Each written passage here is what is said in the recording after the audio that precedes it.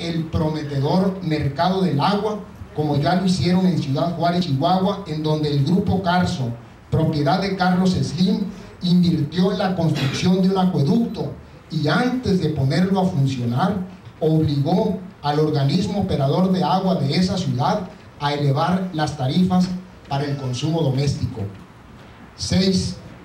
Que existen evidencias documentadas de que la iniciativa Sonora Sí no solo no atiende las necesidades presentes y futuras del desarrollo económico de la entidad, sino que en la práctica se reduce a la intención de entregarle el agua del río Yaqui a intereses financieros que pretenden convertirla en su mercancía preferida.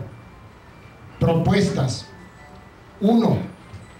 En apego a las facultades que la Constitución le confiere a este H Congreso del Estado, se hace urgente, urgente la intervención de esta soberanía para exigirle al Ejecutivo Estatal que desista de continuar impulsando y tratando de imponer un proyecto hidráulico inviable que divide a los sonorenses, amenaza la gobernabilidad y atenta contra el sano desarrollo del Estado.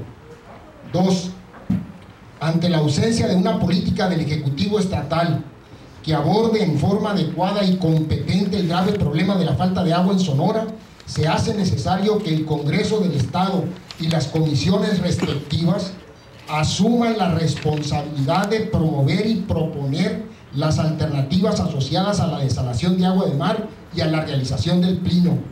Ante las evidentes deficiencias del Ejecutivo, el Congreso debe ser el gran unificador de los sonorenses, convocándonos a la lucha por más agua para no dividirnos en el reparto de la que no alcanza.